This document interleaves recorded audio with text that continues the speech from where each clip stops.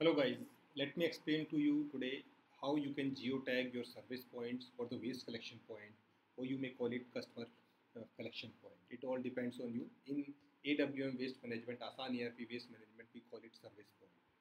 It is basically the point from where you are actually going to collect your waste.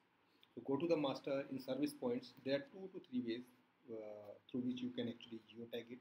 One is that, for example, if you are creating a new service point, you can give it a name i'm just telling you about how to create service points. You can give it a particular frequency let's say weekly and what days you collect it like that. Uh, which asset type you want to connect it. But let's come to the main point of this video is geotagging. So one is that you can directly put lat long over here if you already have the information about it right? The second way is that you can search the location here. Let's say i'll select dubai mall I'll click Dubai Mall, it will automatically take its lat long and the exact geotagging location. Third thing is that you can also move around it. For example, this is not the exact point from where the waste will be collected, you can put the exact point and according the lat long will be changed. So that is one way.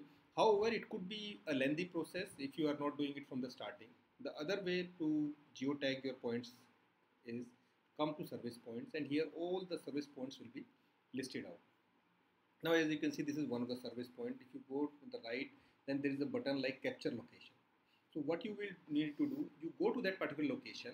For example, if you reach this particular location, developer garage, then you just click on capture location and this will be automatically captured in our system.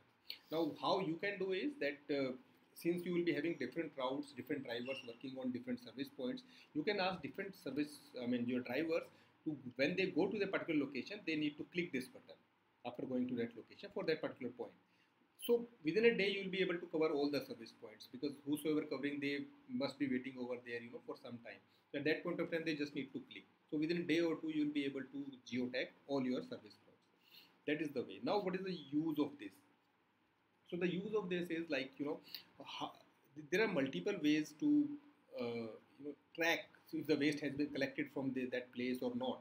So one way is that you QR code that place and uh, you ask your driver to go over there and scan it. Yeah you can do it. We have that option in our system. The other option is that the rfid tagging. You put rfid tag over here and uh, uh, you know uh, we have the rfid reader. The system goes over there and it will scan it. The third thing is the nfc tag. So if you have nfc tag you can put the nfc tags over there and uh, the driver can actually scan it. Just i mean uh, going very near to it because the nfc tags have very minimum frequency. Now the but all these things are little troublesome for some people because the drivers are not so educated and sometimes they forget. So the best way to do it is through the geotagging. No once you have geotagged the things what will happen let's say i'll go to this particular route i'll show you the things over here. So as you can see these are the points which has been geotagged. I hope you are able to see all this.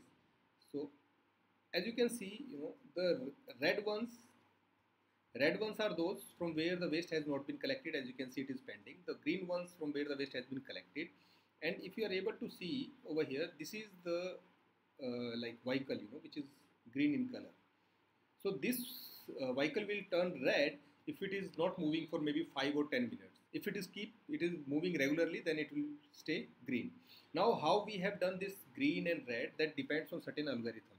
Now that algorithm depends on your uh, company how you want to do for example, what we have done over here in this particular application that if this vehicle moves maybe 20 meter near this, uh, you know, uh, this service point, then it is assumed that this the waste has been collected.